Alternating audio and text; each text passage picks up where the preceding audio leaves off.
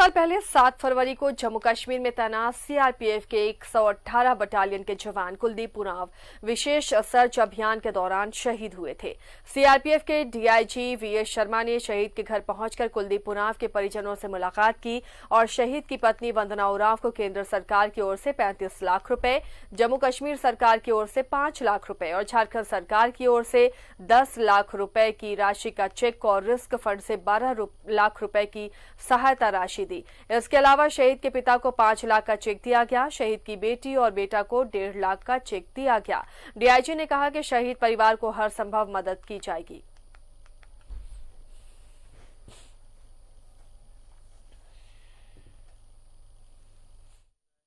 जैसे मैडम अभी सर्विस में हैं ऑलरेडी और बच्चे उनके छोटे हैं तो हमारे यहाँ प्रोविज़न है कि यदि मैडम अप्लाई करते हैं कि मेरे बच्चे के लिए जब तक उनका सर्विस योग्य एज होती है उस समय के लिए तो वो भी एक प्रोविज़न रखा जाता है। और जिनको जिस प्रकार की, मान लो एन के, मान लो, बच्चे हैं तो बच्चे, उनका भाई है तो भाई, या जिसको भी वो नॉमिनेट करते हैं, उसके लिए सेंट्रल गवर्नमेंट उनकी योग्यता के अनुसार